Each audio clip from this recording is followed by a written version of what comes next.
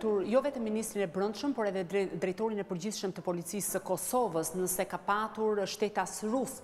të cilët mund të jenë pjesë e këtij grupi të armatosur që sulmoi Policinë e Kosovës e që rezulton sipas të gjitha gjasave që të ketë qëndruar për një kohë të gjatë, sigurisht në mënyrë ilegale dhe duke futur ilegalisht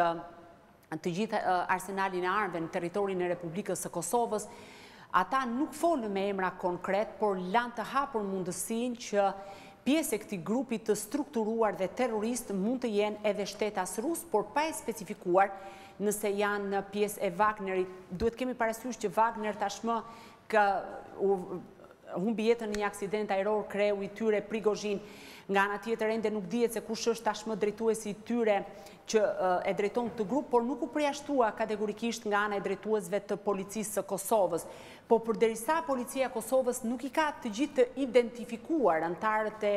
grupit kriminal dhe terrorist,